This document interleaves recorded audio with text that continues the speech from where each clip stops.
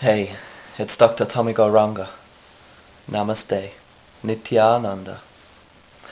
So, when we talk about encouraging other people, helping other people, we have to know how to help other people, how to encourage people.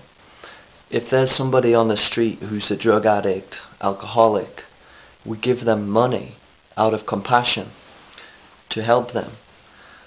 Really, you know, unwillingly committing violence to that person, they go and buy some drugs and further their suffering condition, their addiction, which has got them in that situation of being homeless in the first place because all their money is going on that thing. Um, so we're reinforcing somebody's uh, illusions uh, and addictions. Then it may appear that we're encouraging people, but we may be unknowingly committing violence. I Have old friend, he's like an RAF winchman, and he has to go like um, rescue people out of the sea. They go, uh, he goes down the end of a wire, out of a helicopter down into the sea. And um, he said that when the people that are down there, and they are like freaking out and grabbing onto him, pulling him in and endangering the crew of the helicopter as well as himself. So he said he just knocks them out and then just scoops them up unconscious and they take them up. And he said that the people are so shocked, they're in such a state of shock when they're in the sea, that they never remember that you knocked them out anyway. But that's funny because it's a bit of a twist, because it looks like, oh, that's so violent. But no, that's real uh, mercy. It's like real um, non-violence actually. It's like compassion. So it's interesting how the paradigms, the, you know, what is um, positivity towards others and what is violence towards others. Uh, that's an important question because it depends, you know, if you, how you see yourself, then you're going to project that onto everybody else. If you see yourself as an animal, then you'll treat everybody else like an animal as well. And you won't see anything bad about that.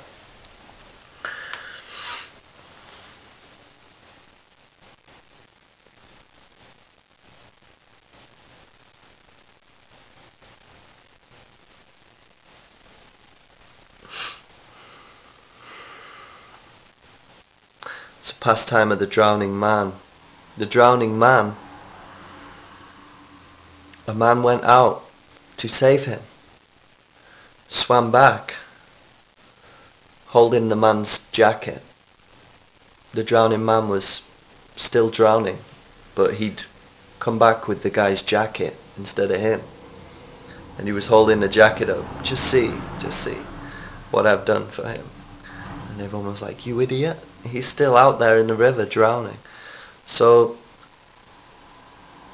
according to the Vedas, this represents this pastime, this story is the jacket is this outer material body and the drowning man is actually the soul. So when we perform some kind of aid work for somebody's body, feeding people or doing some mundane charity, then it appears that um, we're helping people. But unless you're actually saving the very person themselves, then it's as good as just rescuing their jacket out of the river. Just like somebody's hungry, I feed them, you know.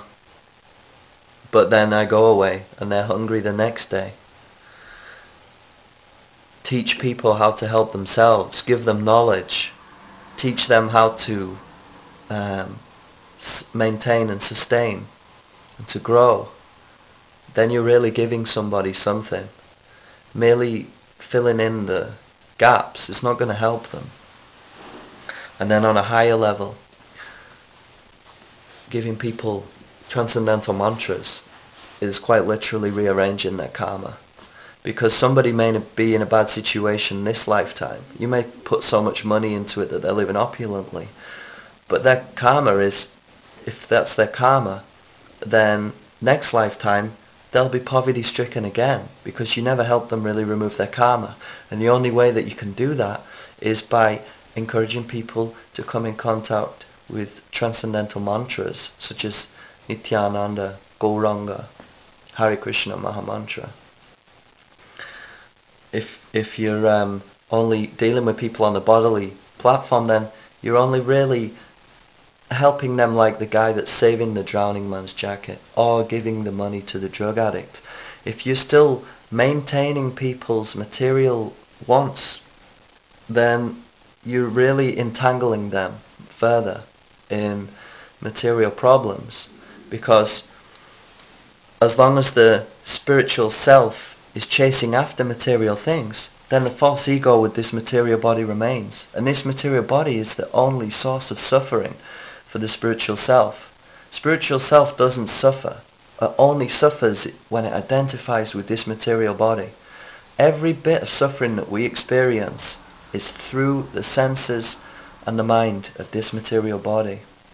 So as long as we are catering to that, we're merely maintaining people's suffering situation. Although we may appear to be being positive, caring, compassionate, and we may truly be trying to be, but if we can't help ourselves, we don't know who the self is.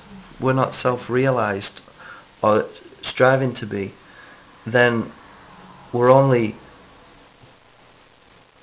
dealing with people in a superficial way and unwillingly committing violence towards them by helping them to maintain an illusory condition of suffering, material suffering.